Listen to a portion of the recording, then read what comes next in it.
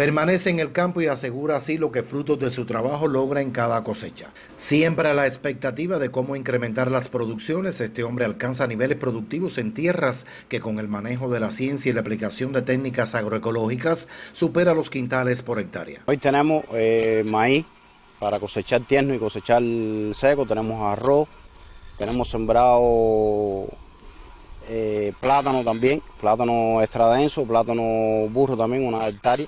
Y estamos experimentando, que estamos comprometidos con el gobierno y el partido de sembrar 7 hectáreas de plátano extradenso antes que cierre julio. Eh, el café, como bien te decía, ya está ahorita ya en un despunte ya, bueno, su quinto año ya de, sembrado.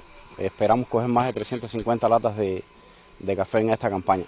En su empeño por incursionar en otros cultivos, ahora pretende experimentar con la soya. Experimentando también en la soya, que le aporta nitrógeno, fósforo y potasio a los suelos, eh, altamente eh, productivo que tenemos nosotros, que nos necesitamos también para el tabaco. Quiere decir que en, en cosecha usamos la canavalia para mejorar el suelo eh, y el caso de la soya para mejorar el suelo también obtenemos la, la soya, que la tenemos comprometida con pienso sin fuego.